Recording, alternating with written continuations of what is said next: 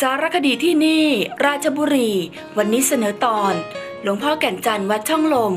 หลวงพ่อแก่นจันทร์วัดช่องลม ประดิษฐานอยู่ที่วัดช่องลมอำเภอเมืองจังหวัดราชบุรี มีประวัติเล่าสืบทอดกันมาว่า เป็นพระพุทธรูปที่ลอยมาตามลำน้ำแม่กลอง ตั้งแต่สมัยกรุงศรีอยุธยา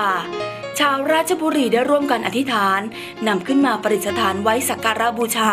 เพื่อเป็นสิริมงคล หลวงพ่อแก่นจันทร์เป็นพระพุทธปฏิมากรรม ศิลปะสมัยทวารวดี ในส่วนตั้งแต่พระเศียรถึงพระอุระเป็นเนื้อทองสำริด ส่วนองค์พระสร้างด้วยไม้จันหอม มีความสูงตั้งแต่พระเกศมาลา ถึงพระบาท 2 เมตร 26 เซนติเมตร เป็นพระพุทธปฏิมาปางอุ้มบาท โดยบาทขององค์หลวงพ่อ เหมือนสวมอยู่ในถุงบาท และมีสิ่งหนึ่งยาวประมาณ 2 นิ้ว ยื่นออกมาจากขอบบาท ซึ่งติดอยู่กับปากบาททั้งสองข้าง ดูแล้วเหมือนม้วนผ้า ที่ยื่นออกมาสำหรับจับ